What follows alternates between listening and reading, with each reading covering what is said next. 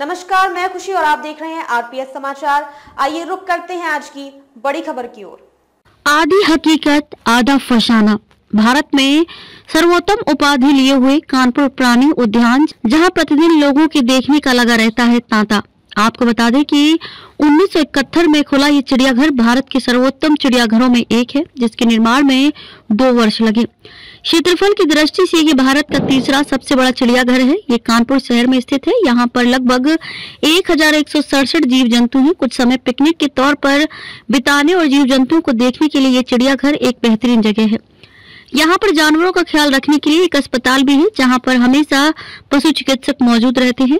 यहाँ पर जून 2014 के बाद से अखिलेश यादव सरकार ने एक ट्रॉम ट्रेन का भी शुभारंभ किया, जो कि पर्यटकों के आकर्षण का केंद्र बनी हुई थी, लेकिन अब केवल शोपीस बनी हुई है। इसकी विस्तृत जानकारी देने के लिए आरपीएस न्यूज़ के दिल्ली ब्यूरो चीफ ललित कुमार पहुँचे। प्राणी उद्यान, आइए देखते हैं कि आखिर कैसा है वहाँ का वर्तमान नज़ारा। रिपोर्ट ललित कुमार। हेलो दोस्तों, नमस्कार। आज मैं कानपुर चिड़ियाघर में आया हुआ हूँ और यहाँ दिखाता हूँ आपको कौन कौन से जानवर, कौन कौन से पक्षी मौजूद हैं इस समय। कानपुर चिड़ियाघर।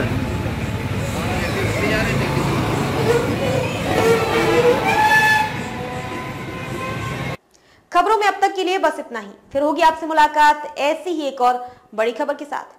तब तक के लिए नमस्कार और देखते रहिए आरपीएस समाचार। ऐसे ही लेटेस्ट अपडेट्स के लिए हमारे चैनल आरपीएस समाचार को सब्सक्राइब करें और तुरंत नोटिफिकेशन पाने के लिए बेल आइकन प्रेस करना ना भूलें। अगर आपको हमारी खबर पसंद आई हो तो इसे ज़्यादा से ज़्यादा लोगों तक ज़रूर पहुंचाएँ।